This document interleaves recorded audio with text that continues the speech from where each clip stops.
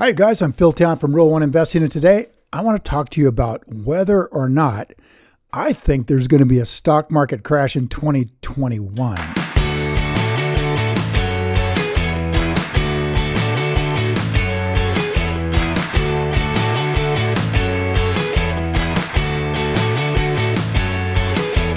So, you all know the market fluctuates, right? We, we say it runs in cycles, it goes up, it goes down.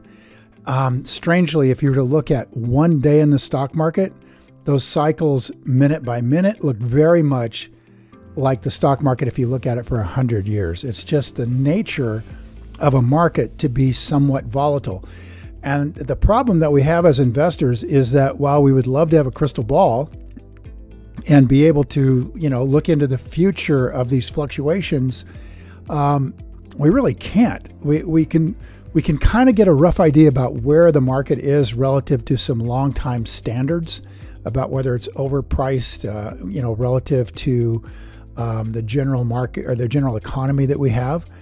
Um, but whether or not there's going to be a market crash, that that is a really tough one. And I, I will tell you guys, I just been doing some research on uh, on some work by Jeremy Siegel, who is a professor emeritus at uh, Wharton is very good at doing value investing research. And he did this amazing thing where he put together a view of the rate of return of four different asset groups the dollar, um, gold, bonds, and the stock market. And he didn't do it just for like the last 50 years or so. He did it for the last 200 years, okay? 200 years. So from 1800 to I think he, he was doing this research like five years ago. So um, it the data went through like 2014, 2015. Now get this, when it turns of crystal ball, okay? If you'd put your money in gold in 1800, um, today you'd have uh, a value of gold that would buy you three dollars of stuff for every dollar you put in gold in 1800 in real terms, in real buying terms. In other words, it would buy three times more stuff than it did in 1800. Um, pretty cool. So three three dollar gain over 1800. If you put your money in bonds, you would have fifteen or sixteen hundred dollars that you would have gained over that period of time. Um, so substantially better than gold, right? Uh, 500 times better than gold level of return by putting your money in government bonds if you put your money in the US dollar, it would have given you a dollar of 1800 buying power all the way from 1800 in almost a straight line to 1935 when the Federal Reserve started devaluing the dollar intentionally by printing more and more money. And they're continuing to do it in a big way right now, by the way. They've just over the last few years, added another 35% to the M1 money supply, which is just 35% of all the dollars ever created. Just happened. And so this is really astonishing. But let me just tell you what happened since 1935. The dollar went from a dollar of buying power from 1800 to a nickel. So right now, it's lost 95% of its 1800 buying power which is an extraordinary loss of value in the last 80 years, loss of real buying power. Um, so here's this this asset that is like the most risk-free asset that you can have, according to a lot of people, which is cash. But turns out in the long run to be an absolute disaster because of federal government policy. I'm not criticizing the policy. We've become wealthier and wealthier as a result of this policy okay, I'm going to criticize the policy. The reason we've become wealthier is we've taken advantage of the fact that the dollar is the world's reserve currency. And after World War II, the US had collected most of the gold in the world and agreed to back our dollar with gold so that you could exchange the dollar for gold at any time.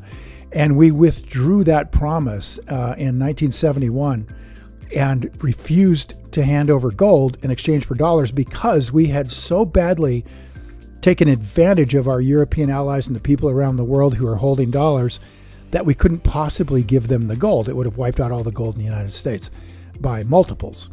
So we have basically printed our way to wealth Um, and there might be a piper to pay for this down the road. So it's something we should be thinking about. I'm not going to go into it deeper right now, but just be aware that that problem is hanging out there in a very major way. So the dollar down uh, 95% since 1935. Stocks delivered. You sitting down? Uh, oh, by the way, real estate. They, Siegel didn't do real estate, but I did. I took a look at real estate from 1900. If you just paid full price for real estate, right, don't, you don't leverage it, to, so it's apples to apples against these other investments. Um, real estate would have produced a return of slightly less than gold, just a little uh, better than about two and a half percent yield since 1900, which you know I know a lot of you are astonished by that because in the last 20 years real estate has rocketed, but it's rocketing with um, with the res- as a result of a lot of Federal Reserve action and dropping interest rates. So it's a, a little bit of an aberration here about what's going on in the last decade or so. Um, over a lot much longer period of time, over 120 years, real estate's basically stayed a little bit above inflation in terms of real buying power um, if you don't leverage it. And then, so finally, stocks. Okay, so we have real estate and gold just about the same. Bonds, 500 times better than either of them and then stocks, which since 1800 produced a real return above inflation of $1 million. So if you had a dollar in 1800, you put it in stocks, 200 years later, you have a million dollars in real buying power, not in just, you know, inflated dollars. In $1,800, right, you'd have a million dollars, which would make you just insanely wealthy. So I think that's pretty interesting when we're talking about, you know, what's the market going to do? in the long run, you want to be in the market. The problem with the long run is that in the long run, we're all dead. The market can be flat for as long as 26 years in a row. And the more it goes up into really high levels of valuation, the longer it can go sideways in the future. Right now, we're at a stock market valuation or, or price, I guess you could say, that means that when you buy the S&P 500, which is the entire index, you're getting a 2.5% yield on your investment. you can do that by putting your money in a government treasury bond. So you you kind of wonder at this point in time, why would I take the extra risk of being in the stock market um, if I don't have 200 years? If I've only got 20, could I be putting my money in in like the equivalent of 1929? And the answer is yeah, it, it's entirely possible. You, you, anybody that says no, keep your money in the market, in the long run, it'll all turn out great, is making money on you somehow. That's a sales pitch. The reality of the stock market is that in shorter periods of time than 200 years, there's a lot of volatility, there's a lot of risk there. And it's interesting to me that um, as good an investor as Li Lu, basically phenomenal investor. Look him up, L I L U. Um, he's compounded money at 30% a year. I've talked to him about him a couple times.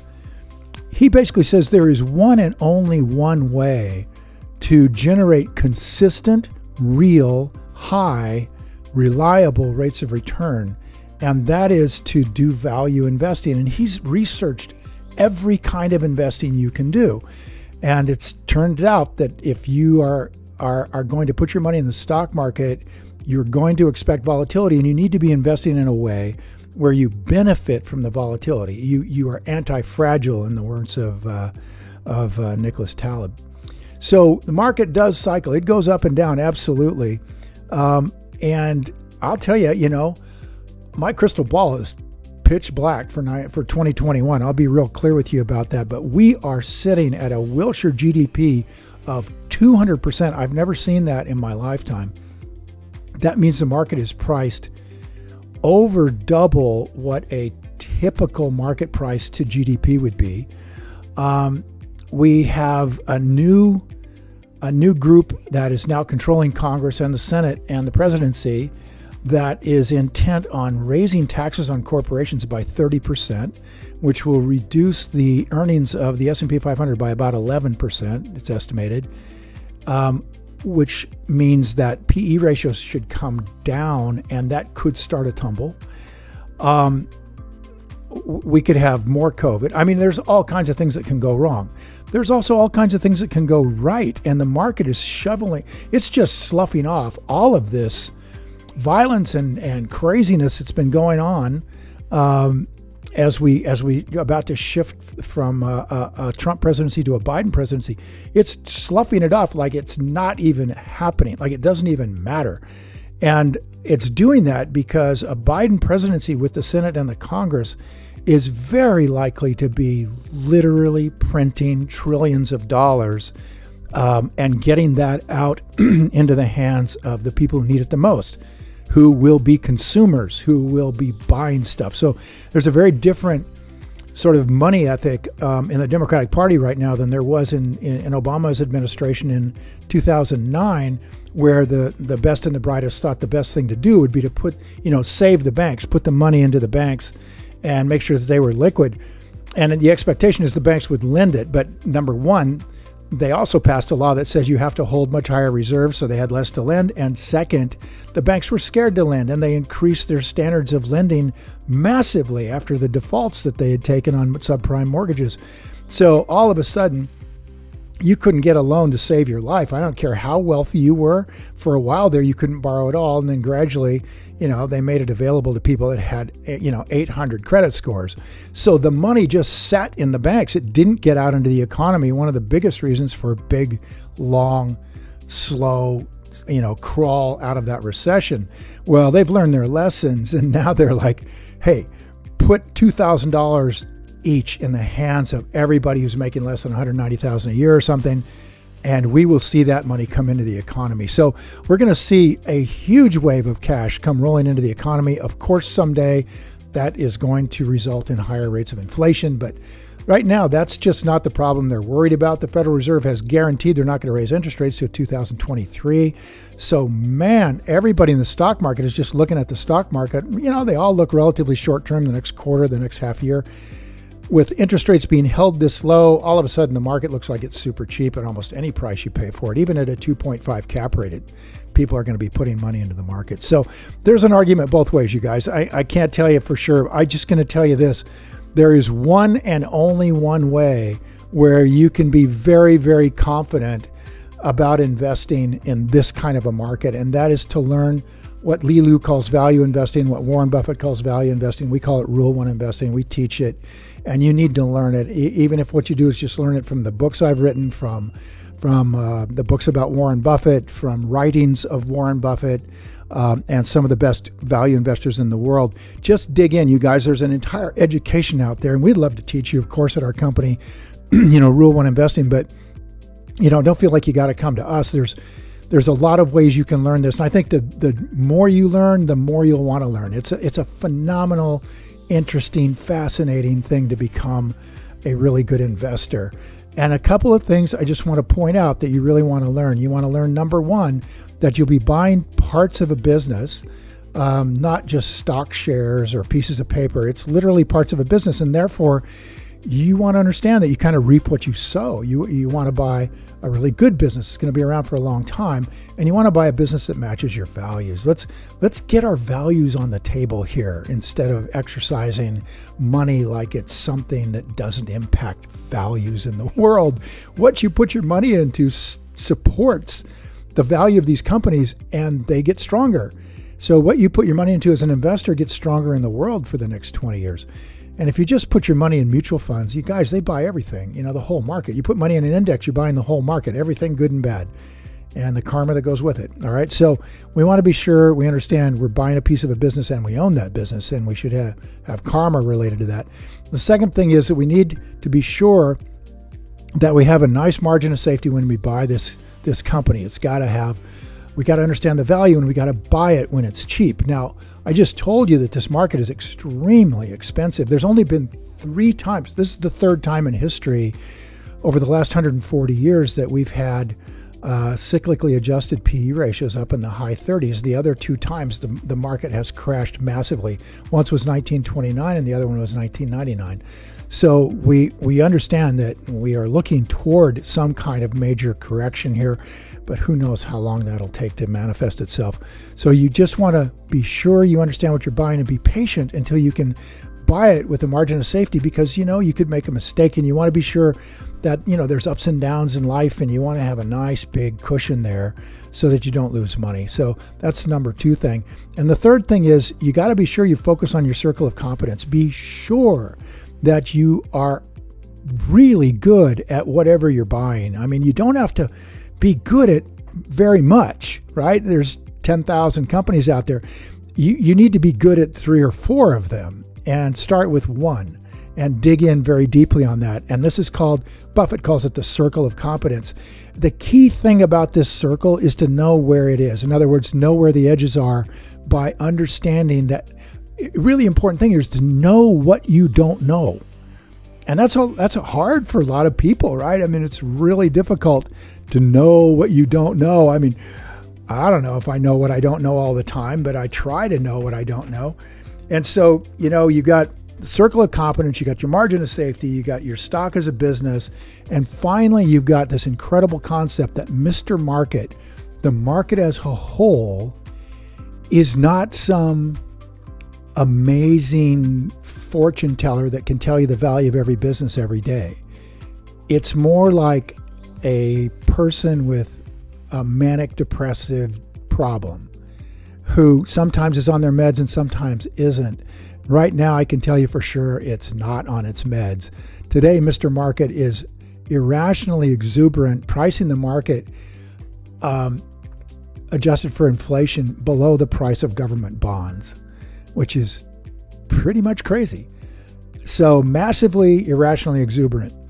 And then sometimes the market, Mr. Market, you know, gets off the meds and he's completely depressed. And then he's going to price things at prices so low that it's like he doesn't think the sun's going to come up tomorrow, even on wonderful businesses. So, what we want to do is just be patient until the mood gets to be depressed, where there's all these companies on sale, and then buy the ones you've created on your watch list by doing some some reading, right? And then be sure you stay within your circle of competence. So that's it. It's, those are the four things right there. You've got margin of safety, you've got circle of competence, you've got Mr. Market as a tool to use who serves us by giving us ridiculously low prices and then being willing to buy from us at ridiculously high prices. And then finally, that um, you're going to buy companies, not slices of stock. If you guys stick with that kind of stuff, you're going to do great. So I'll tell you what, uh, I'd love to hear from you guys. I, would love to get the, the market opinion from a lot of people here. Do you think that the market will crash in 2021. Maybe as a group we can figure this out. Leave a comment below with your answer. I'll be sure to follow up with you. And thanks for watching, you guys. Now go play. You guys, if you enjoyed this video and you think it was valuable for teaching you more about the potential of a 2021 market crash, just hit the like button here and please share the video with your friends. And if you want more investing content, subscribe to my channel. And don't forget to click the button on the screen for a free gift. And thanks for watching.